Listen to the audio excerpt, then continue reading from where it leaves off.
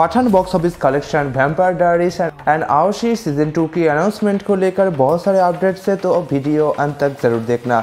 Bulletin one Pathaan box office collection 850 crore तक पहुँच गया है। लगता है मूवी हज़ार करोड़ इजीली पार कर लेगा।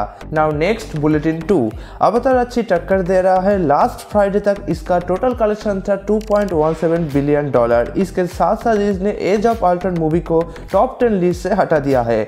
Now next news bulletin three 26 April Amazon Prime पर पठान रिलीज़ करने वाला है। कमेंट में ज़रूर बताना कि ओ पर मूवी देख रहे हो कि नहीं। Bulletin four.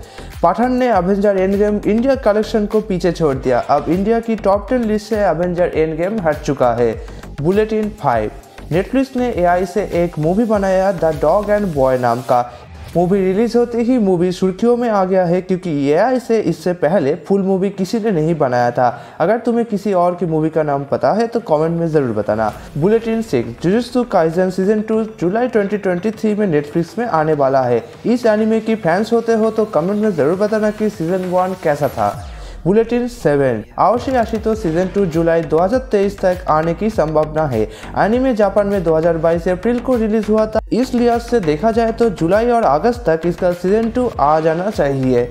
Bulletin 8 James Gunn ने रिसेंटली एक प्रेस रिलीज़ जारी करके बताया है कि आने वाला फाइव कॉमिक्स से ऊपर डीसीयू का फ्यूचर डिसाइड होगा। वो क्या पाँच कॉमिक्स से नाम सुनो? Super Supergirl Woman of Tomorrow the Authority Batman All Star Superman and some things bulletin nine Kantara movie ने एक और रिकॉर्ड सेट किया है। मूवी रिलीज़ हुई थी तेलुगु टेलीविज़न स्टार मा पर एंड रिलीज़ होते ही इसने 12.35 टीआरपी अचीव किया है, जो कि आज तक की तेलुगु इतिहास सबसे ज़्यादा हाईएस्ट टीआरपी माना जाता है।